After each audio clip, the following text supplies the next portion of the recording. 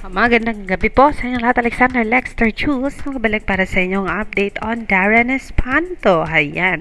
Dahilan sa sweet message ni Cassie Legaspi na sabi niya uh, Darren Espanto is a total package. Ito po. At this is the second uh, feature ng Nylon Manila on Darren Espanto 4. Uh, today mga kaibigan, ang sabi ni Nylon Manila, Sino-sino pa ba ang nakakakita at or nakabasa, nakakita or nakabasa ng uh, mensahe ng isang Cassie Ligaspe uh, para kay Darren Espanto sa kanyang 22nd birthday. Hayan, we stand 100% this wholesome friendship. O di ba mga kaibigan? And hayan, uh, sino-sino pa ba ang uh, nag nag-greet sa isang Darren Espanto.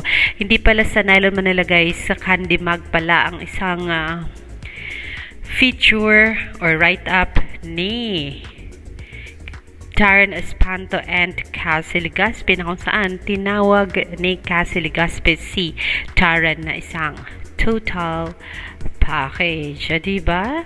Ayan, and uh, aside from that, Darren Espanto Ayan, meron na po silang love team uh, fan group.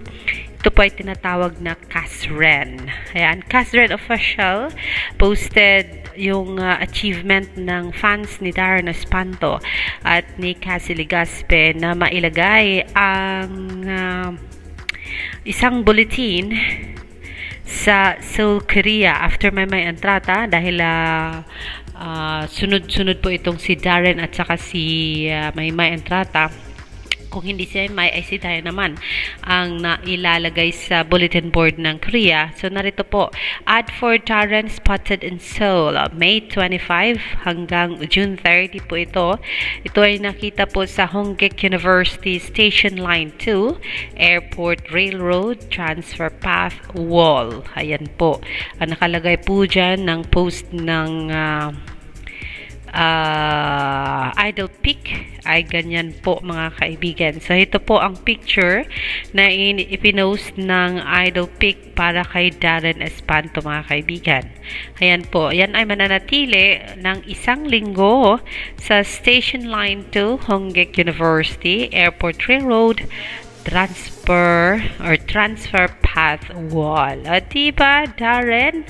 Ikaw na ang Asia's heartthrob hindi lang uh, na ilalagay sa bulletin ang mga photos mo sa Pilipinas, kundi ito nga, umaabot ka na rin sa Seoul, Korea, just like Meridel, Maymay, and Rata. And this happened dahilan po sa mga kagustuhan ng uh, followers mo, Darren Espanto, na nagtulungan para ma maipanalo itong uh, ad pick mo uh, dyan sa Seoul, Korea. Hindi po biro-biro ang gawaing ito kasi nadanasan na rin natin yan sa kay Maymay Entrata na ilang beses na rin na nang ipalagay ng My My Solids ang uh, little video clip ni My My Entrata dyan sa Seoul, Korea. And so this is Darren's uh, turn this time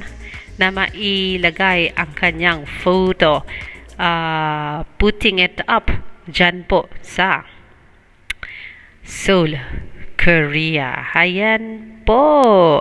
So, yan po ang ating latest update on Darren Espanto. I will see you later for more, mga kaibigan. Dito lang sa ating channel, mga Kasren. Cassie and uh, Darren, Alexander, Lexter Jules. Hope to see you more sa aking mga vlog, mga Kasren. Dahil alam niyo naman, lahat ng mahal ni Memay ay mahal rin natin at lahat ng mahal ni Edward ay mahal rin ni Alexander, Lexter Jules. Magandang gabi po.